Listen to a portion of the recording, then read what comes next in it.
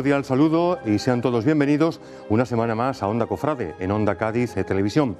Hoy miércoles 18 de diciembre, un día de muy especial significación puesto que está a punto de terminar, pero es el día de Nuestra Señora de la Esperanza. Tercera semana de Adviento y aunque no lo crean, muchísima actividad dentro de lo que es la información cofrade en nuestra capital desde el pasado miércoles y hasta este. Hoy, por cierto, han comenzado los cultos en honor a Nuestra Señora de Gracia y Esperanza por parte de la Hermandad de nuestro Padre Jesús de la Oración en el Huerto. Pero vamos rápidamente porque, como digo, tenemos un programa muy cargado en cuanto a información con lo que ha deparado la actualidad cofrade desde el pasado miércoles y hasta el día de hoy. Comenzamos eh, viendo la información en torno al pregón precisamente a Nuestra Señora de la Esperanza Cigarrera que tuvo lugar el pasado fin de semana en el convento de Santo Domingo.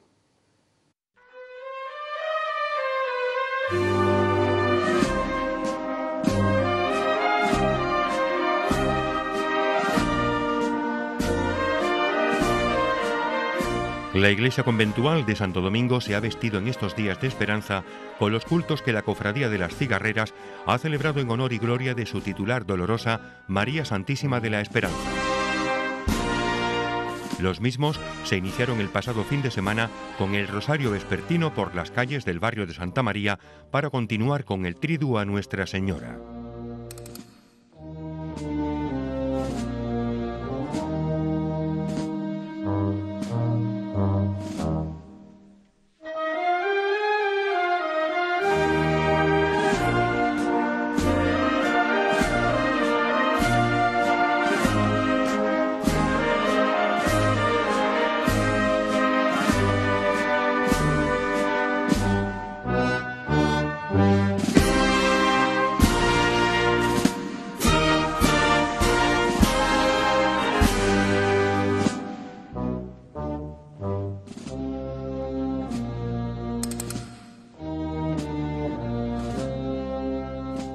Pasado sábado se celebró la solemne función principal, tras la cual tuvo lugar el pregón a Nuestra Señora, que este año ha pronunciado el hermano mayor de la Cofradía del Santísimo Cristo de la Expiración, Vicente Rodríguez.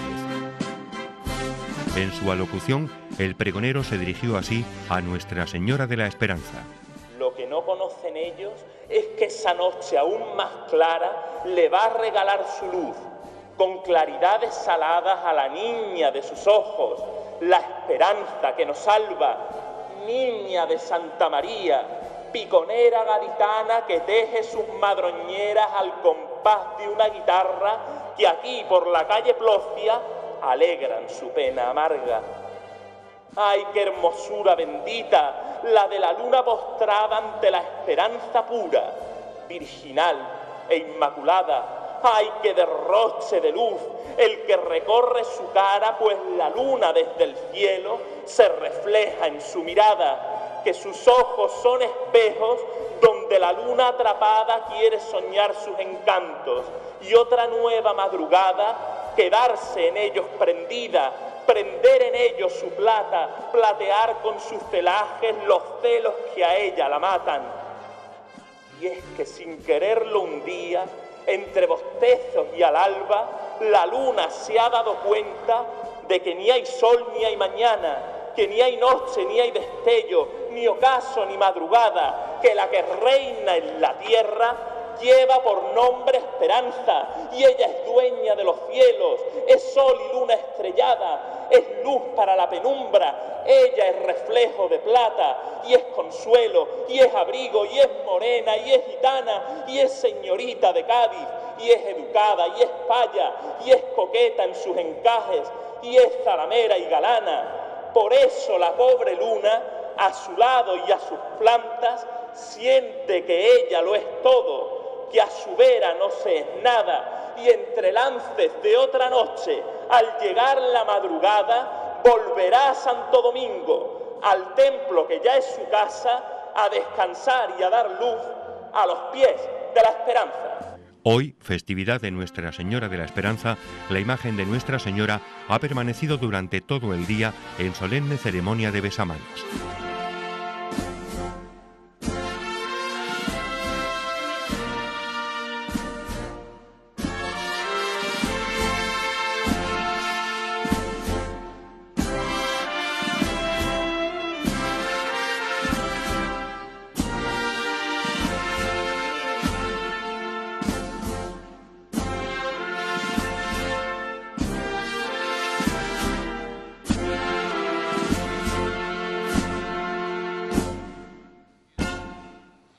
Un fantástico pregón, por cierto, el ofrecido en el convento de Santo Domingo por Vicente Rodríguez, hermano mayor de la cofradía del Santísimo Cristo de la Expiración.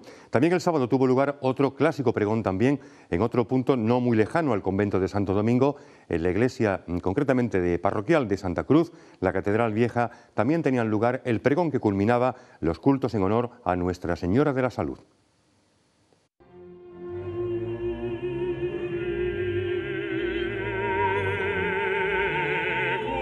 Como es tradicional, en el último mes de cada año, la Cofradía de la Sanidad ha celebrado cultos en honor a Nuestra Señora de la Salud, titular mariana de la Hermandad. El pasado viernes día 13, en horario de mañana y tarde, la imagen permaneció expuesta en devoto besamanos delante de su capilla, en la iglesia parroquial de Santa Cruz, sede canónica de la corporación.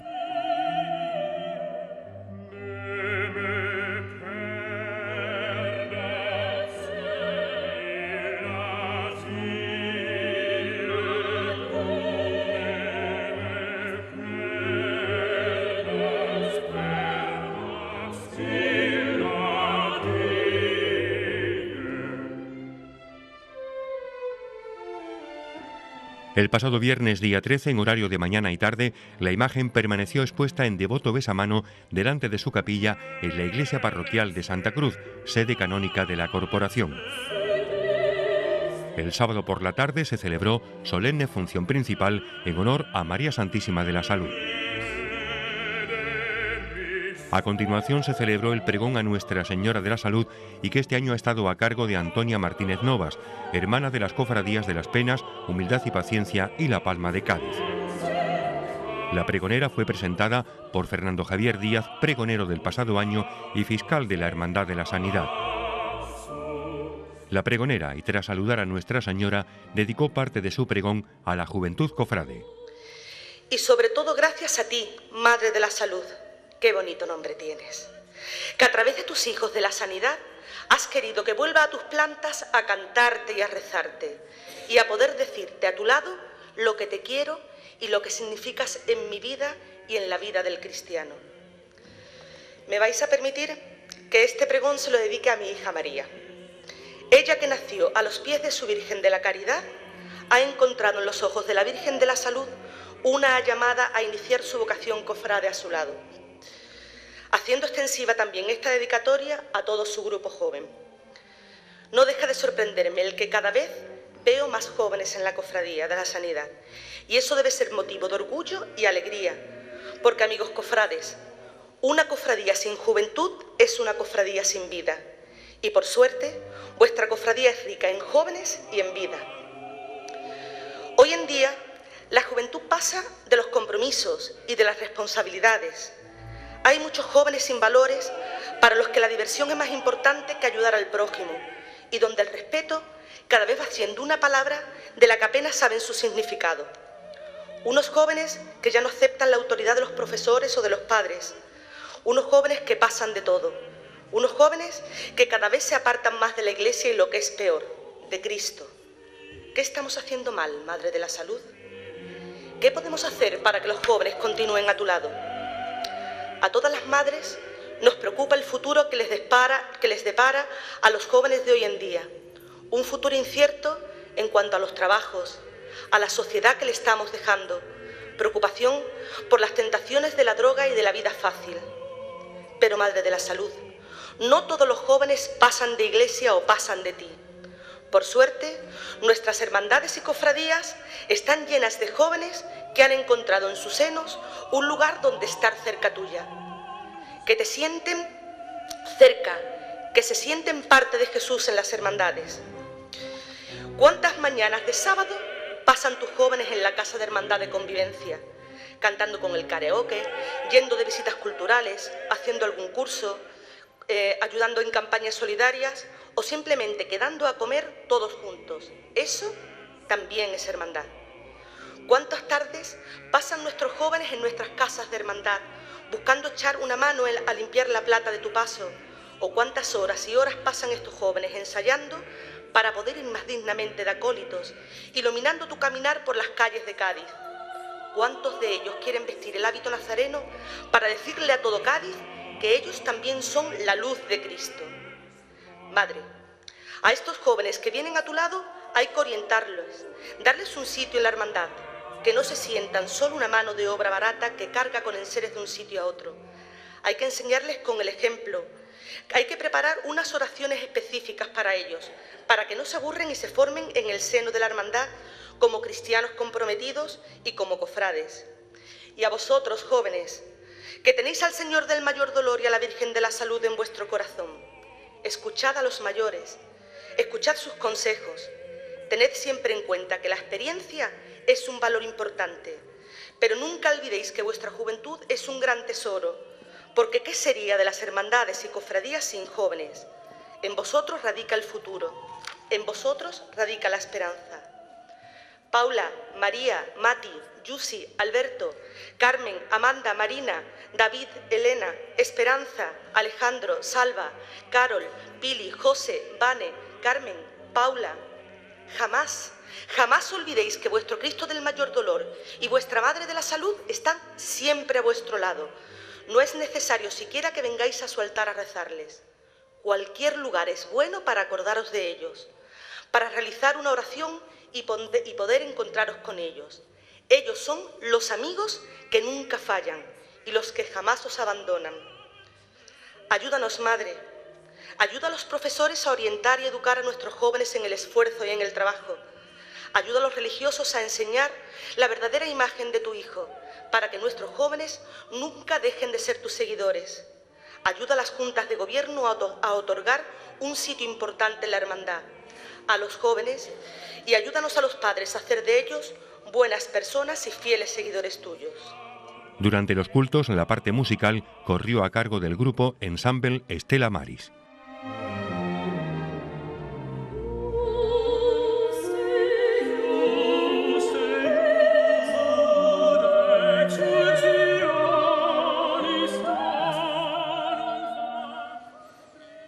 También un excelente pregón el que nos ofreció Toño Martínez el pasado fin de semana, el pasado sábado en la iglesia parroquial de Santa Cruz. Comentarles eh, que la Hermandad del Descendimiento de Cádiz va a entregar el sábado a partir de las 5 de la tarde otra importante cantidad eh, de artículos dentro de la casi ya veinteañera, dice novena, en este caso edición de la recogida de alimentos que hacen en favor de las hermanas de la Cruz. Concretamente se van a entregar mantas, víveres, material de farmacia y una cantidad en metálico además de toallas. Una cantidad en metálico compuesta por monedas de uno y dos céntimos. Monedas que provienen de Toledo, provienen igualmente eh, de Chiclana, de Sevilla y también de Cádiz. Se calcula que la cifra puede rondar prácticamente los 600 euros. Es, como digo, una donación diríamos que es la campaña más veterana que existe en Cádiz, porque, puesto que, como digo, son casi ya 20 años lo que la Hermandad del Descendimiento recoge cada año para las Hermanas de la Cruz. Más información también que ha deparado la semana desde el punto de vista cofrade. Los cultos que tuvieron lugar en la pasada semana en el Colegio de las Salesianas de Cádiz en honor a Nuestra Señora de Guadalupe, el Belén Viviente que también organiza la Real Parroquia Castrense eh, del Santo Ángel Custodio, que, tiene, que se está representando en el Colegio del Campo del Y un concierto solidario que también tuvo lugar en el Colegio de Trille, organizado por la Hermandad de Nuestra Madre del Buen Pastor.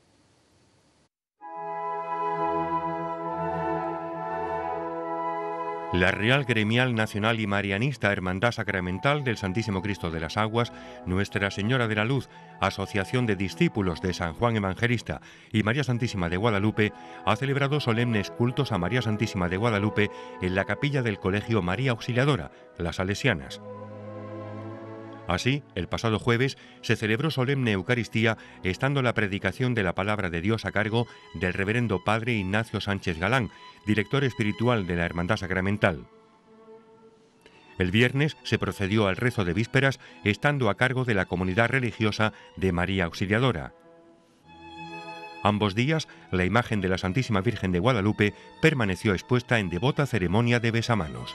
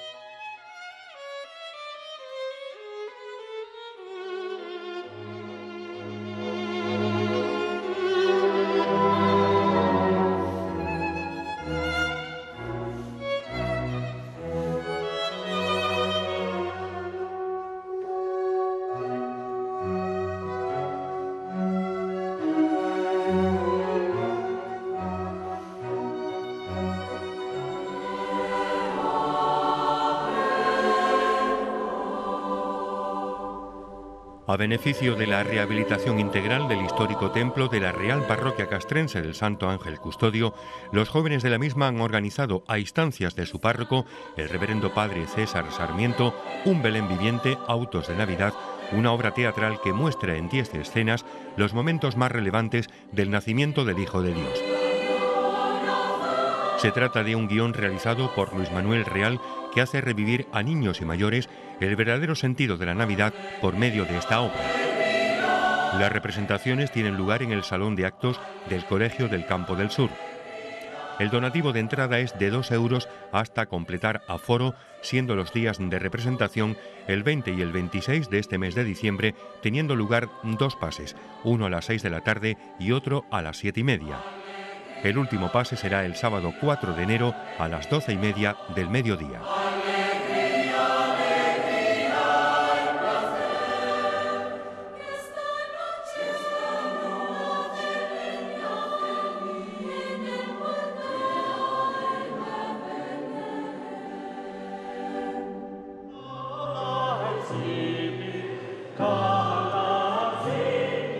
La Junta de Gobierno de la Hermandad de Nuestra Madre del Buen Pastor celebró el pasado viernes un concierto solidario a cargo de los grupos al aire y versión vocal. La entrada tenía el precio simbólico de un kilo de alimentos no perecederos. Además, tras el concierto, hubo una barra con productos a precios populares para recaudar fondos para la Bolsa de Caridad de la Hermandad. Ya el sábado tuvo lugar una nueva jornada pastoreña que comenzó a las 6 de la tarde con la segunda charla formativa a cargo del director espiritual, reverendo padre Salvador Rivera, y a continuación Misa de Hermandad.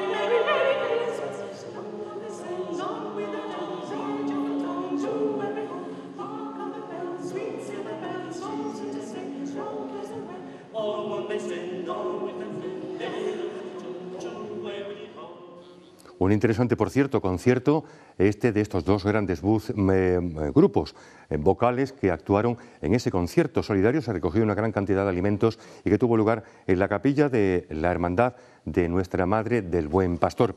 Hay todavía zambombas pendientes por celebrar por parte de muchas hermandades de nuestra capital, concretamente el domingo a las doce y media del mediodía y en el patio del Colegio de la Mirandilla de la Salle se va a celebrar la zambomba organizada por la Hermandad de las Siete Palabras. Previamente, el sábado día 21 son dos las que se celebran. Una a las 8 de la tarde en el patio medieval del barrio del, del Pópulo, organizada por el Grupo Joven de la Hermandad del Santísimo Cristo del Perdón. Y a las nueve y media de la noche, en el patio de la Real Parroquia Castrense del Santo Ángel Custodio, tendrá lugar también la zambomba organizada por la Hermandad del Santo Ángel eh, también Custodio. También mañana jueves, día 19, y en el, Colegio Salesianos tendrá lugar el ya habitual anuncio de la Navidad que lleva a cargo la Hermandad Penitencial Salesiana de nuestro Padre Jesús del Amor, despojado de sus vestiduras, y María Santísima de la Concepción. Posteriormente tendrá lugar también la misa de hermandad y la tradicional ya también llamada fiesta del polvorón. Y también hubo más cosas la pasada semana. El jueves y en el salón parroquial de la iglesia de San Agustín tuvo lugar una interesante mesa redonda organizada por la Hermandad del Santísimo Cristo de la Humildad y Paciencia con motivo del 350 aniversario de la ejecución, la talla y puesta al culto y bendición, por supuesto, de la talla del Señor.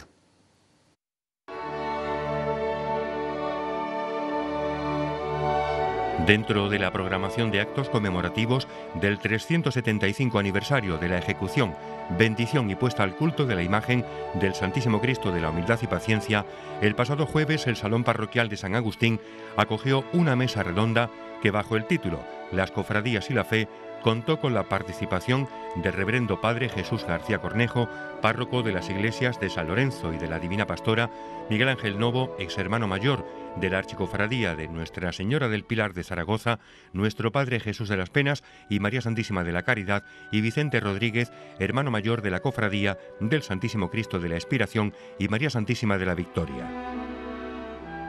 Entre las intervenciones, el reverendo padre García Cornejo expuso su visión sobre cómo se vive la fe dentro de las hermandades y cofradías.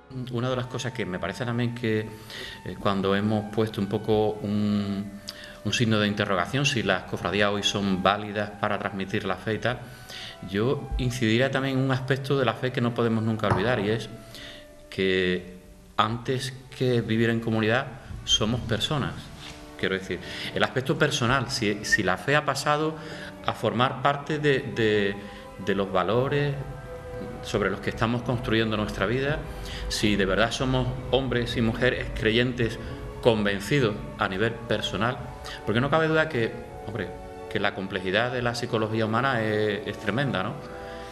Yo conozco grupos de fe determinados, que no solo necesariamente son de cofradías, que la gente a veces tiene un comportamiento impropio de un cristiano, clarísimamente, ¿no?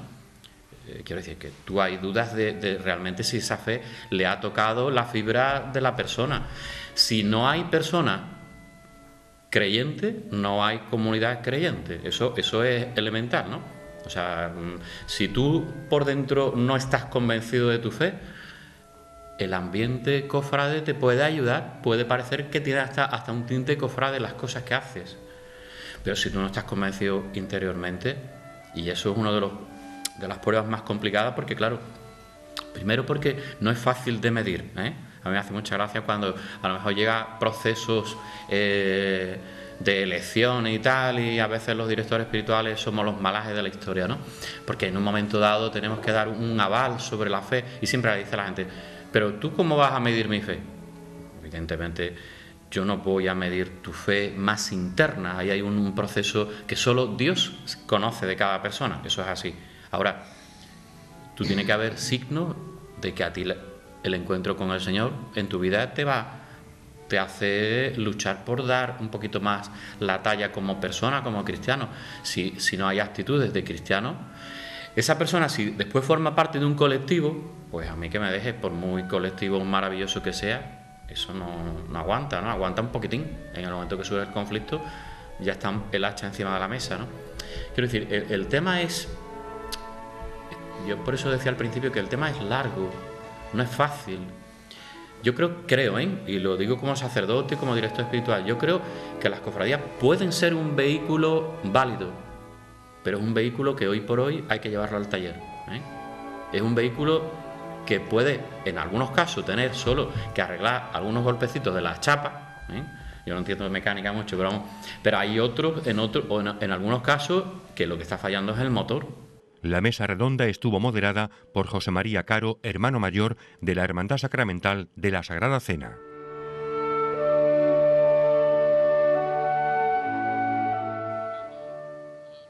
Una interesante mesa redonda la que se celebró, como digo, el pasado jueves en el Salón Parroquial de la Iglesia de San Agustín. Esa intervención, eh, concretamente del Reverendo Padre García Cornejo, muy interesante en cuanto a las muchas exposiciones que se debatieron en esta mesa redonda. Llegados a este punto, permítannos que hagamos un alto para la siempre importante publicidad y enseguida seguimos aquí, en Onda Cofrade.